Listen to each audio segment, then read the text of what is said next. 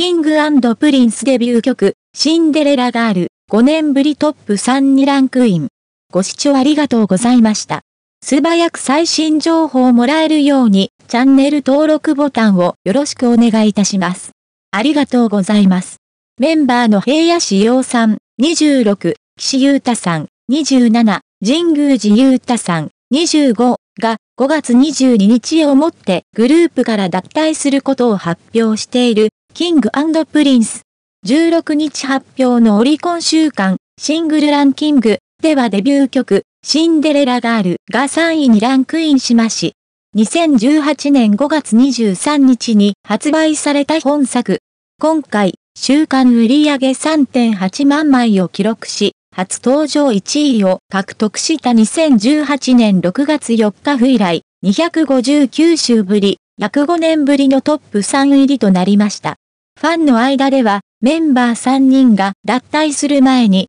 シンデレラガールのミリオンセラーを達成させようと、オイデレラと呼ばれる購買運動が広がりました。オリコン調べ、2023年5月22日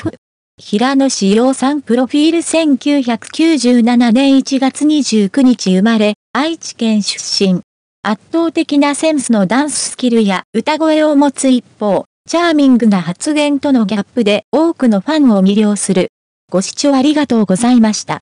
これからも一緒に応援していきましょうね。チャンネル登録をよろしくお願いいたします。